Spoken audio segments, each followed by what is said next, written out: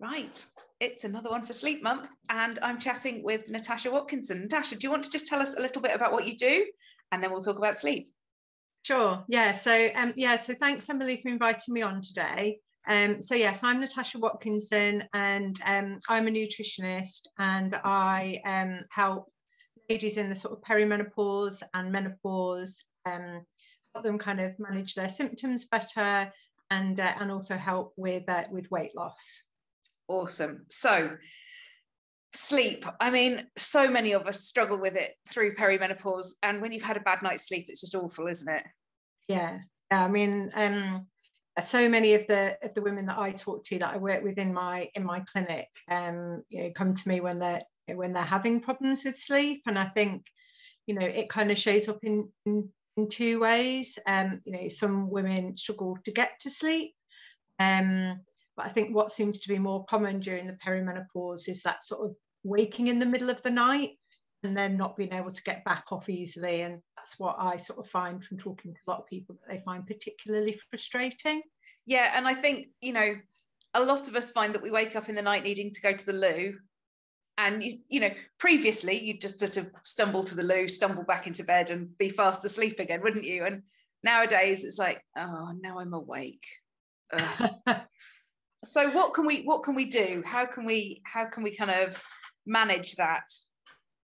So um i mean i think there's um i think there's there's a few there's there's sort of no kind of quick fix unfortunately. Um there are a few sort of different of ways of kind of addressing it. Um there's um there's things that you know, maybe kind of around sort of sleep hygiene. Um and um, you know your, your kind of sort of environment in your bedroom to think about. So we, we can talk about those. Um, probably things to do with um, your kind of blood sugar balance and how you're kind of eating and what you're eating across the day. Because if you're, sort of maybe relying on caffeine and sugar because you're tired, kind of get you through the day, then you might be having kind of big peaks and troughs um, in terms of your energy if your um, blood sugar kind of crashes during the night, um, that can be a cause of kind of like you're having a sort of a stress response. Your body's kind of having a stress response and keeping you awake. Um, then I think there's also something about dealing with stress and how you kind of manage sort of stress because um, I think one of the things we, we focus a lot on estrogen. We think a lot about estrogen when we think about what's going on with our bodies in the perimenopause, but um, also big drops in progesterone, which is another hormone, and sometimes people call it like nature's tranquilizer. Um, and it can lead to us feeling more stressed and less able to deal with stress. Um, and so that can then have a big impact on our sleep. So there are there are two or three things that you you know tend to find it's a little bit of a jigsaw puzzle. Yeah. Um, and there's yeah two or three things that we sort of need to look at to kind of help people sleep better. So if we if we address each of those in turn, so sleep hygiene, what do we want to be doing? Um, so I've got some sort of like simple kind of um, do's and don'ts with sleep hygiene. So I would say, um, yeah, the first thing in terms of like do's and don'ts, um, my, my kind of the big one that I sort of tend to start with first is about caffeine. Um, so, um, so caffeine can take awfully long time to get be processed by our body and we don't process things as well as we get older. Um, so you know caffeine can take 12 hours to get rid of the kind of be processed through the body.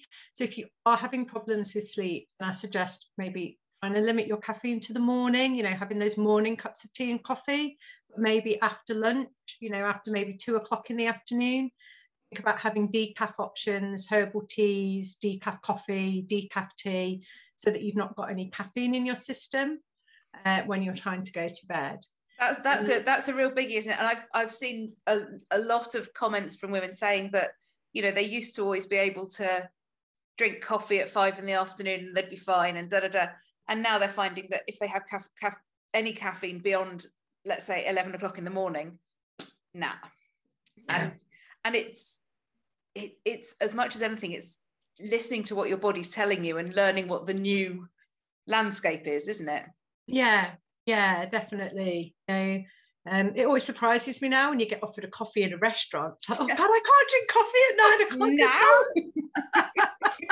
I'd never get to sleep. Yeah. Whereas, you know, I could have done that in my 20s. It would have been abs- you know, it would have been absolutely fine. Yeah. Um, so yeah, it's definitely uh, um, a little bit of yeah, listening, listening to your body. Um, I think it's something that um, some of the other things are around um, kind of light in your bedroom. Um, so trying to make the bedroom dark, you know, and even light sources like having your phone there, um, you know, things that might light up if you're getting notifications in the middle of the night. That blue light is really kind of um, disrupting.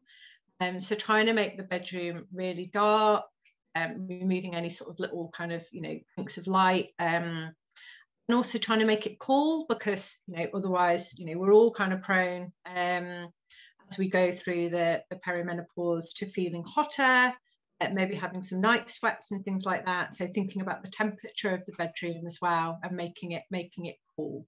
Yeah. Um, some some things to sort of think about in terms of um, like a bedtime routine. So um, maybe trying to wind down a little bit before bedtime. Um, um, you know, thinking about you know reading a book, um, watching TV, but not things that are going to make you really anxious. You know, the news, but news at 10 o'clock probably isn't a great thing to watch. With, Not at the um, moment.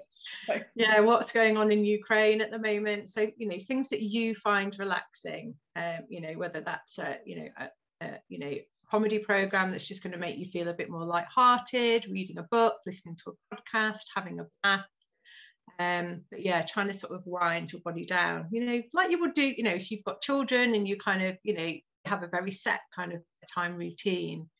You know they have a bath they have a story and it gives the body all those kind of cues to sort of wind down from the day. Yeah absolutely. So if we then move on to sort of blood sugar because that's another biggie isn't it that you mentioned yeah so um I mean, I think if you are having trouble sleeping, then um, you know, it's very easy to start kind of relying on, you know, on caffeine to kind of give you that boost in the morning. You know, maybe kind of having that sort of mid-morning, you know, sort of biscuits and things like that to kind of give you that sort of energy burst. Um, what what I see quite a lot with women um, as we're going through the perimenopause is unfortunately our bodies don't process sugar as well. Um, and so it's more common that you start kind of having these sort of sugar imbalances where maybe you feel like you're on a little bit of a roller coaster, where you kind of have your breakfast, um, you know, maybe some cereal or, you know, kind of toast, and you get this sort of boost from what you're kind of eating. Um, but then later in the morning, a couple of hours later, you get a bit, a little bit of a slump and you get those kind of cravings so you know you kind of have that sort of mid-morning snack maybe a cereal bar or a banana or something like that and you get a little boost again and then you you slump down and um it's a lot of a lot of women that I speak to kind of find and that they feel like you know they're kind of feeling quite sluggish in the afternoon they're sort of feeling quite tired um, and quite sleepy where they used to have that problem in the afternoon and, and, it is sort of due to these kind of blood sugar imbalances of going up and down during the day. That that can lead to kind of having a blood sugar crash at night which then which then really disturbs your sleep. Um, one of the big things that you can do about that is trying to make sure that you have protein with every meal um, because having that kind of protein with every meal and every snack balances off the release of release of the sugar um, from any carbohydrates that you're eating. Um, so thinking about you know simple ways to include protein at breakfast. Um, so maybe having peanut butter on toast instead of marmalade, or if you're having something like you know something like oats, like porridge or overnight oats, adding a couple of tablespoons of nuts and seeds to it so that you've got some, some protein with that sort of carbohydrate type breakfast. Um, or having, um, if you, you know you want a quick bowl of cereal before you dash out the door, um, having a sort of um, like a granola that's maybe got like a lot of nuts and things like that in it, um, are kind of quite sort of simple options. Um, yeah, sort of trying to make sure that you're having a good amount of protein with every meal across the day, even out even out your blood sugars and stop being on that kind of up and down roller coaster. Yeah, that makes sense. And then the last one was stress. I mean, where do we start with stress? well, um, yeah, I mean, we definitely could be here all day um, talking about stress. Um, you know, it's a it's a big kind of you know often it's kind of a big challenging time of our lives. You know, we're kind of you know we've got jobs, we've got teenage children maybe. We've got parents that are getting a bit older that need more help. Um sometimes it can seem like you know we're kind of even lower than the dog. You know it's like well you know well i've got to walk the dog and i've got to get the kids pack lunches ready and then i've got to get to work and i've got to do this. And it's like well where's the time where's the time for you? Um and i think on you know we don't deal as well with kind of stress with everything that's going on with our hormones. So um you know, trying to sort of carve out some time for yourself, maybe learning to say no to some things. Um, you know, have you know, don't always have to go to everything or you know do everything. Um, you know that that can be something that you know, is um, you know to sort of give, your, give yourself a little bit more space and a little bit more time. You know, listening to your body a little bit more.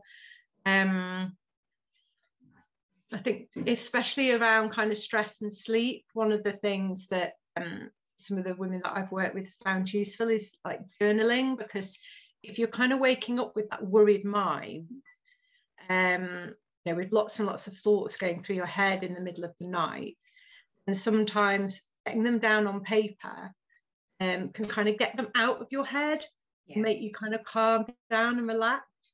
So whether that's writing things down before bedtime or even having a pad and paper in another room. If you really can't sleep and you've been awake for an hour you know getting up and going to that other room writing them down on a piece of paper and um, just kind of gets them out of your head.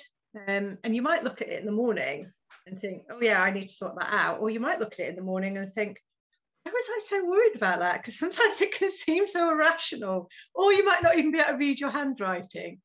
But it yeah, sometimes the act of just writing it down just releases it from your brain and calms your brain, and then you might feel able to go back to sleep again.